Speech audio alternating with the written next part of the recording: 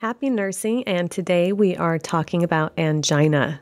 So, angina is chest pain resulting from inadequate blood flow to the heart muscle.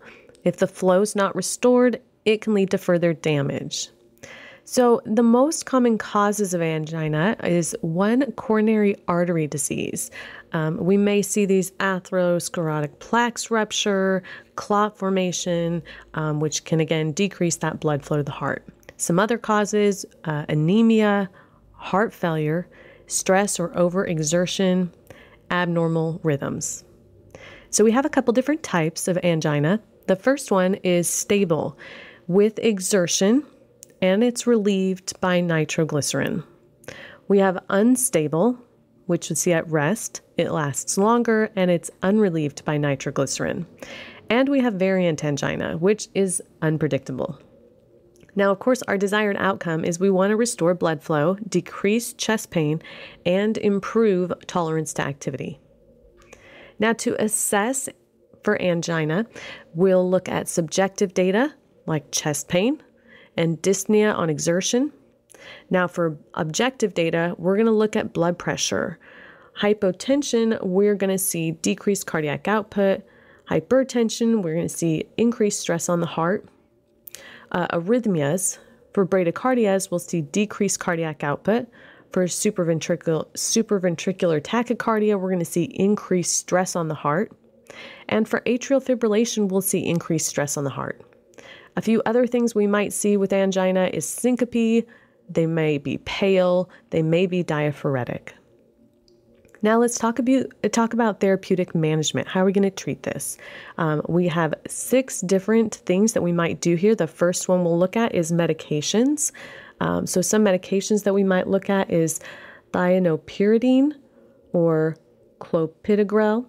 Uh, we may also do heparin.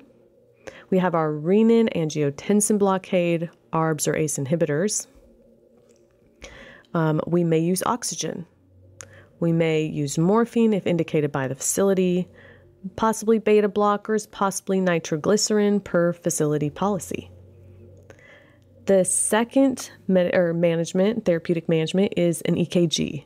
That will help us rule out a STEMI and monitor arrhythmias. Third, we're going to monitor vital signs heart rate, BP, SpO2. We're going to check for changes.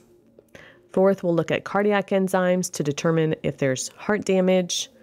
Fifth, we may look at a cardiac stress test to determine the myocardial stress point. And lastly, cluster care rest to decrease myocardial O2 demands. So, again, we are talking about angina. We have a few different types, but in general, angina is chest pain resulting from inadequate blood flow to the heart muscle.